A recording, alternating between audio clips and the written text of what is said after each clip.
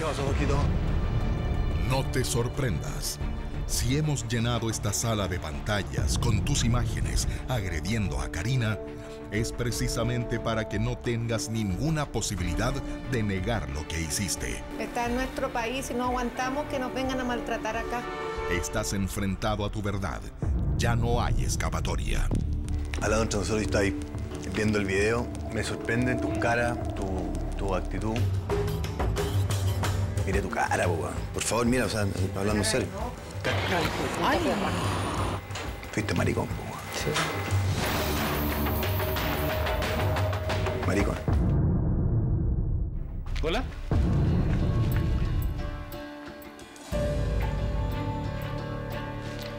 ¿Qué te parece? Vergonzante. Muy vergonzante. ¿Mm?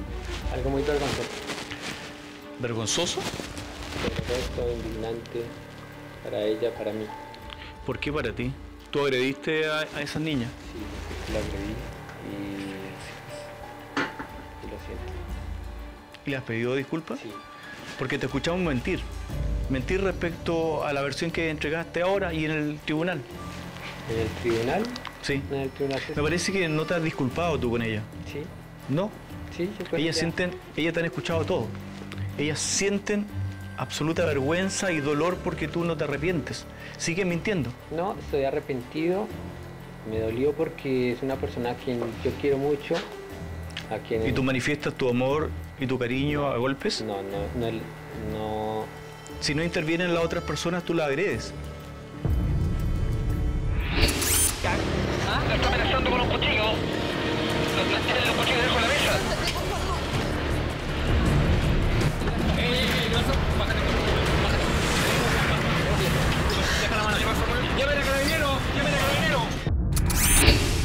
Y tú sigues mintiendo. Tú le has pedido dinero. Y tú cambias la... le- ella, todavía tú le debes plata a... Y yo le sé que le doy Ya, y dinero. está- estás contando absolutamente una, una historia absolutamente diferente. Yo siento que tú te estás victimizando. No, no me siento. Ahora, ahora te da vergüenza, pero delante de ella fuiste muy cruel. Tú eres un celópata, las acosas. ¿Me va a negar eso también? Serópata, no sé en qué, a cómo lo tenían ustedes, pero no es así, no la acoso. Yo- Mira, nosotros sabemos que tú las acosas. Tenemos el testimonio de diferentes víctimas tuyas. Todas tienen el mismo patrón. Todas son víctimas, a todas les pides plata, a todas las acosas. O sea, no es una casualidad. La agresión es gravísima y yo no me explico por qué, y ya lo dije, que en el juzgado hayan, no hayan tomado en cuenta, no sé que la jueza no haya sabido de lo, de, lo, de, lo, de lo que hiciste. Lo que tú hiciste es gravísimo y está penalizado por las leyes de Chile. ¿Tú sabes que te podrían expulsar del país por esta situación? Sí, yo por eso yo a Karina le he pedido perdón y le pido que me perdone de corazón.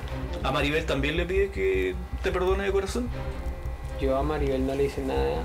Nosotros sabemos que tú todavía le debes dinero y que te quedaste con cosas que le pertenecen a ella. ¿Qué cosas? Yo no- Preguntémosle. Maribel,